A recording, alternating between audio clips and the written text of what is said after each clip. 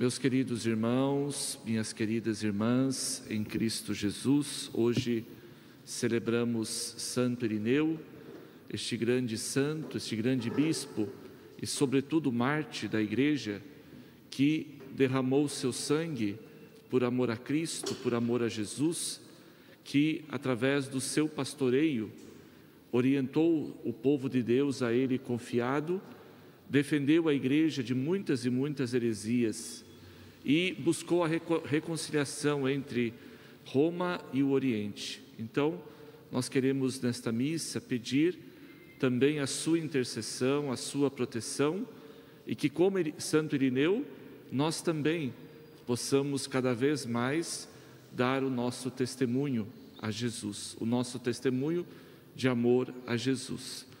Bem, olhando para as leituras de hoje, nós vemos que Deus falando através do profeta Amós, ele mostra, né, através do profeta para o povo de Israel, que Deus age e age sempre no seu povo. E age para quê? Para restaurar o seu povo, né? É a famosa pedagogia de Deus. É Deus que através de acontecimentos bons e ruins, ele vai moldando o povo. Ele vai fazendo com que o seu povo se torne cada vez mais fiel a Ele. Então, é Deus que fala ao povo de Israel através do profeta Amós. E assim é Deus conosco, né? Das coisas muitas vezes ruins que acontecem na nossa vida, nós podemos tirar coisas boas, bons ensinamentos que nos faz amadurecer na fé. Então, e, e quando é que nós amadurecemos na fé? É nos momentos de dificuldade, de crise, que nós crescemos, que nós amadurecemos, que nós damos um salto de qualidade na nossa vida espiritual. E por fim, chegamos no Evangelho.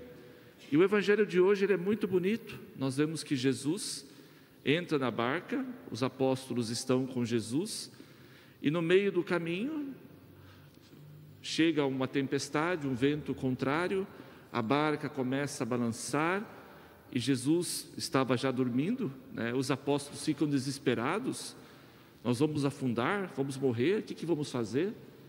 E eles vão lá e acordam Jesus, e Jesus então, que tem o poder sobre todas as coisas, sobre toda enfermidade e também sobre as forças da natureza, ordena que a tempestade se acalme, se acalme e a tempestade se acalma. E Jesus chama a atenção dos seus apóstolos: cadê a fé de vocês? Cadê a confiança? Né? Então, deste evangelho nós podemos tirar muitas mensagens para a nossa vida, mas talvez a mais importante, importante seja qual? Seja aquela em que Jesus chama a atenção dos apóstolos, né? Cadê a fé? Cadê a confiança nos momentos difíceis? E assim conosco. Quantas vezes na nossa vida, e nós podemos comparar o mundo que vivemos com o mar, e cada um de nós somos como pequenos barcos que estamos navegando por este mar. E no decorrer dessa navegação, muitas vezes também chegam as dificuldades, chegam os ventos contrários, pode ser uma enfermidade, pode ser um problema de relacionamento, pode ser uma decepção, ou a perda de uma pessoa querida. Então vejam quantas tempestades nós vamos encontrando pelo caminho da vida. E é neste momento que nós devemos nos lembrar de que nós não estamos sozinhos nesta navegação. Jesus está conosco, está no nosso coração, e nós temos que ter esta certeza e esta confiança que é Jesus que irá acalmar as tempestades da nossa vida. É Jesus que irá nos trazer a paz, a serenidade para que nós possamos continuar esta navegação até o último dia da nossa vida. Então, que nós possamos pedir a Jesus que aumente cada vez mais a nossa fé.